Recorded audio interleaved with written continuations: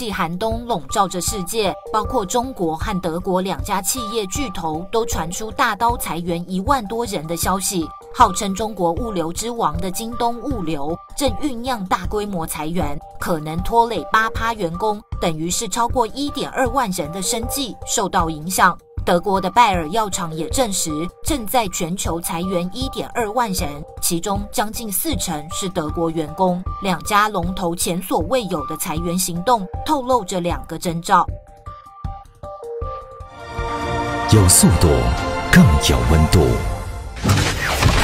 京东物流，先说中国的京东物流创办人兼执行长刘强东在美国涉嫌性侵被捕，使得公司营运产生阻碍。去年京东营收六百七十亿美元，折合台币二点零七兆元。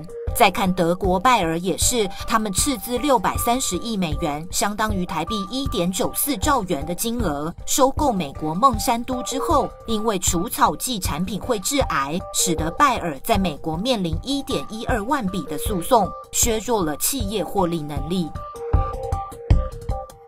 中国经济不再高速成长，电商产业更加严峻。京东面对劲敌阿里巴巴还有拼多多的竞争，正陷入苦战，导致一连串的准结措施在各大企业上演。可怜的劳工被压得喘不过气。